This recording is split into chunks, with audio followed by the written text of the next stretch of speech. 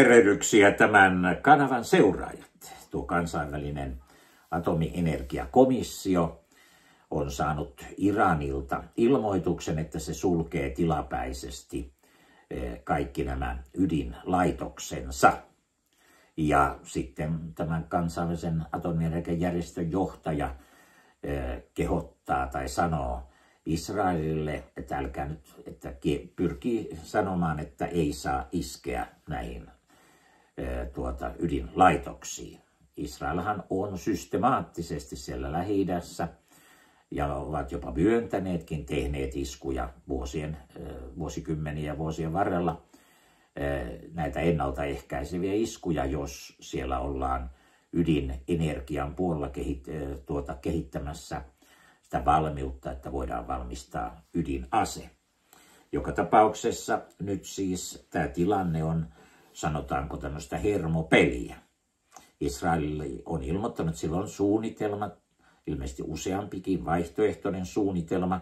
Se Israelin yleinen mielipide näissä asiantuntijoissa on ollut jo pitkään, että nyt lopultakin on selkeä syy, peruste iskeä niihin atomilaitoksiin ja sen takia sitä ei saisi jättää käyttämättä.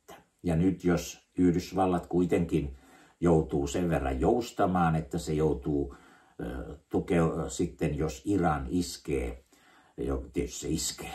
Siis sieltähän olette ne varmaan nähnytkin, siellä on maanalaisissa luolissa valtava määrä ohjuksia.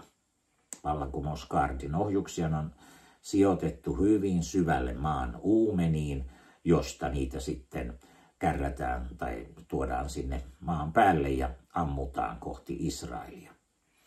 Eli kysymys on siitä, että onko siellä brittien, siis siellä nähtiin, että ne yritti säästää ammuksia tai ohjuksia, että ne ampui ihan suoraan tämmöisillä ö, tuota, tykeillä niitä troneja ja muita ja onnistuivat pudottamaankin.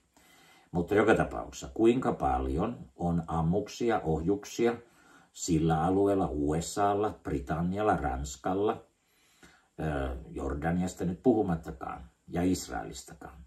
Siis e, jos Iran suuntaa valtavan ohjusiskun kohti Israelia, silloin se on aivan eri asia. On eri asia torjua 350 droneja, ballistista ohjusta ja vastaavia – kun jos niitä tulee 3000, 4000, 5000, mikä määrä siellä nyt sitten voi olla. Joku sanoi, että, että siis että edes 10 000, vaan sieltä voi olla tulla kymmeniä tuhansia ohjuksia.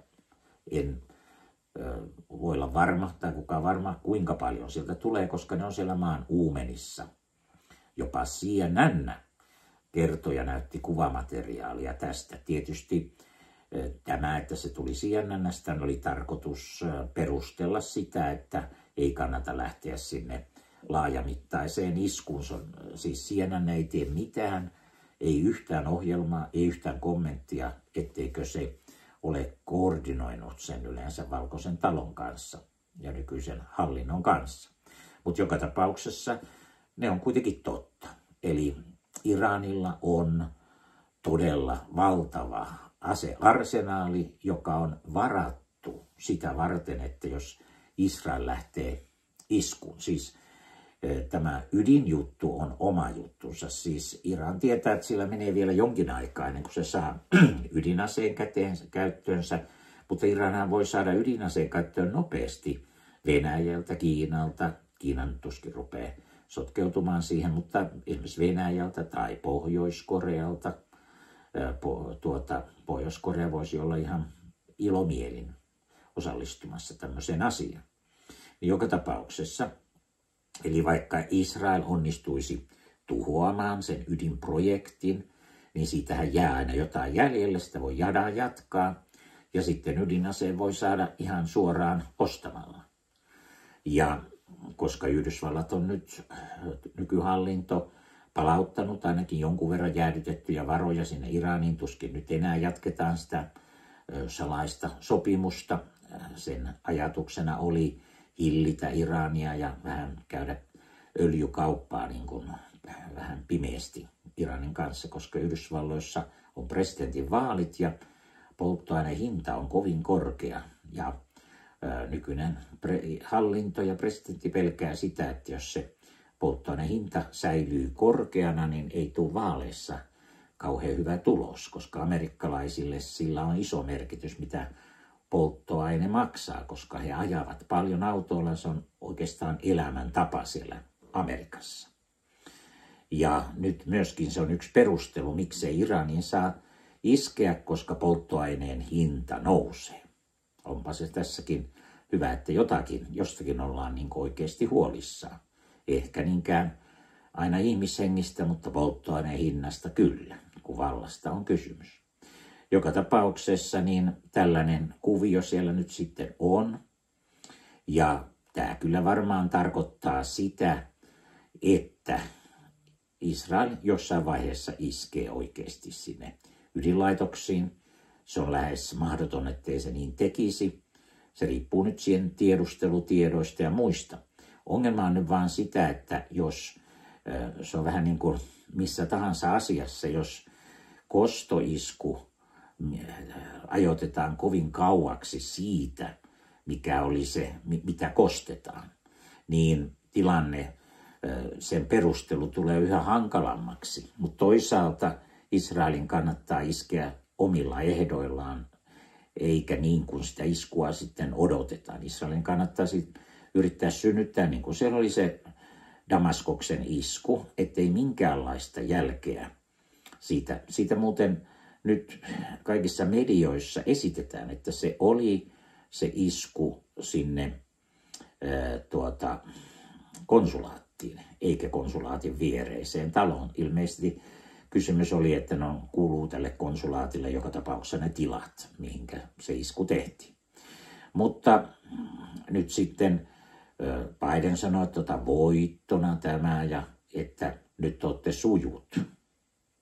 Siis sujut, kun Irak, Iran omalta maaperältä lähettää iskun Israeliin. Jos se on sujut ja jos Israel sen, tai se hyväksytään, niin silloinhan siitä, siitä tulee sitten varmaan ihan yleinen tapa, että Iran voi sieltä ampua ohjuksia.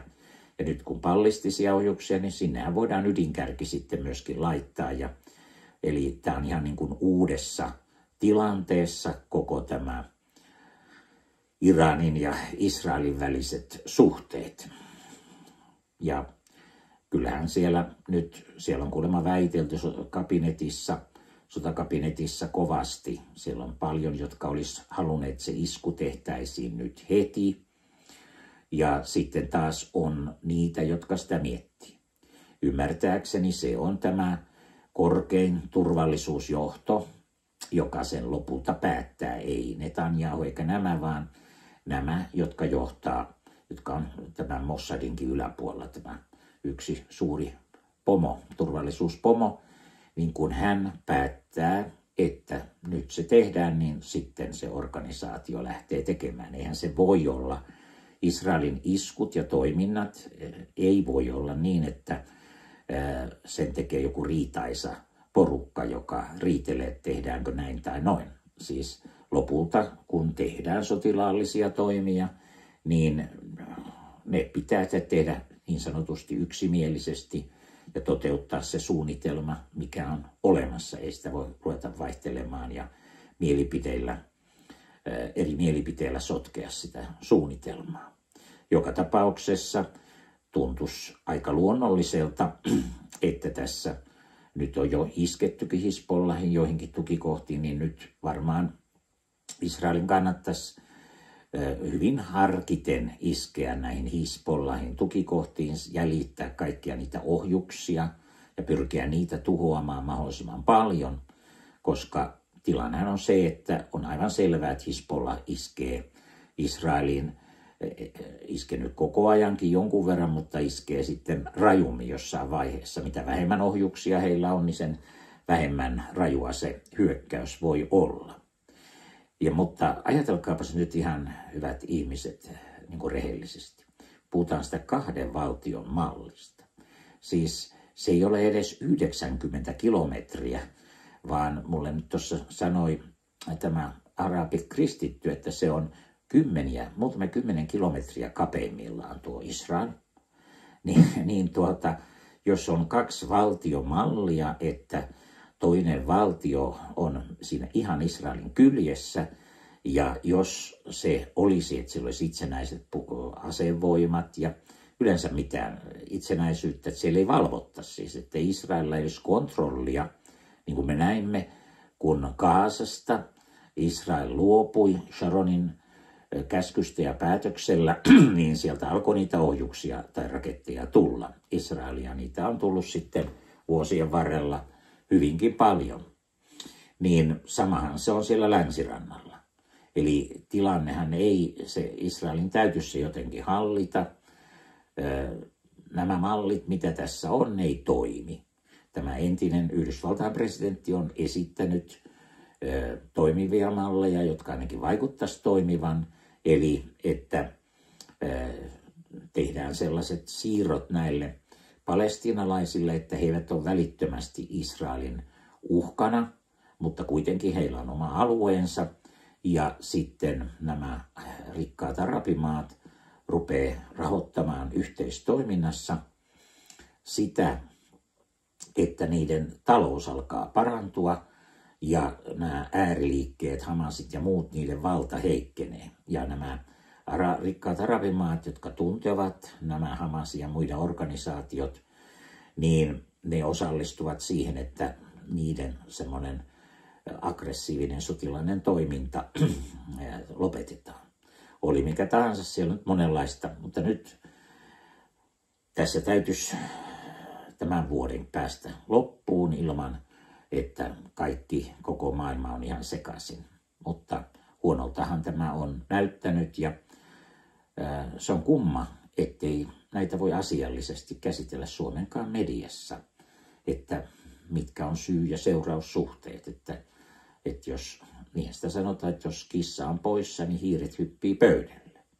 Ja kun isäntä on puuttunut länneltä, johtaja, oikea johtaja, niin kaikki on oikeastaan sekaisin epävarmaa ja, ja missään ei ole niin kuin selkeää ratkaisumallia, eikä voi edes neuvotella. Ei oikein mitään järkevää neuvottelukumppania. Nyt esimerkiksi Saksa on neuvotellut Venäjän kanssa salaisesti pitempään. Siellä Ranskakin on yrittänyt ja, ja näin poispäin, kun Yhdysvaltalla ei ole ollut mitään neuvottelukykyä. Siis ei, Putin ei arvosta. Hän on monissa puheissaan nyt esittänyt hyvin pilkkaavia näkemyksiä tuota, Yhdysvaltain nykyisestä presidentistä ja tämän kyvystä toimia. Semmoista sarkasmia ja ihan suoraakin arvostelua, että Putin ei luota, että nykyisen Yhdysvaltain presidentin kanssa kannattaa minkäänlaisia neuvotteluja käydä ja näin poispäin. Ja sen takia Venäjä käy neuvotteluja sitten Saksan ja kenen kanssa nyt siellä käyvätkään. Varmaan, varmaan ainakin Ranska on ollut myöskin mukana. Ja Venäjä on ilmoittanut, että se käy neuvotteluja sen vuoden 2022 sopimusehdotuksen pohjalta. Eli jos niin siihen suostuttaisiin tai näin, niin käytännössä siis koko sota lopputulos olisi yksi tyhjän kanssa lännelle. Eli olisiko pitänyt sitten suostua niihin ehtoihin, jos niihin lopulta joudutaan suostumaan. Ei tietysti niin haluta ajatella, mutta ei nyt ainakaan ole sotataistelu rintaman tilanteet kovin hyvältä näytä. Ja kuinka paljon ihmisiä tässä nyt pitää tappaa. Ukraina tarvitsisi ihan ilman muuta hengähdystauon. Sen täytyisi saada oma infrastruktuurinsa laitettua, omat puolustusvoimansa kuntoon ja sillä tavalla, että se voisi olla niin kuin kykeneväinen vastaanottamaan sitten Venäjän joukkoja ja hyökkäyksiä, jos semmoisia jatkossa tulee. Mutta nyt tämä koko sota, teollisuus, mikä Venäjällä on, niin sen tosiaan tuotantokapasiteetti on valtaisa ja se koko ajan vaan kiihtyy. ja länsi ei ole käynnistänyt vastaavia operaatioita. No, katsotaan miten tilanne kehittyy ja kaikkea hyvää teille. Ja tilatkaa ihmeessä kanava, kun ei maksa mitään. Kommentoikaa ja peukutellaan. Kaikkea hyvää. Kiitos. Hei hei.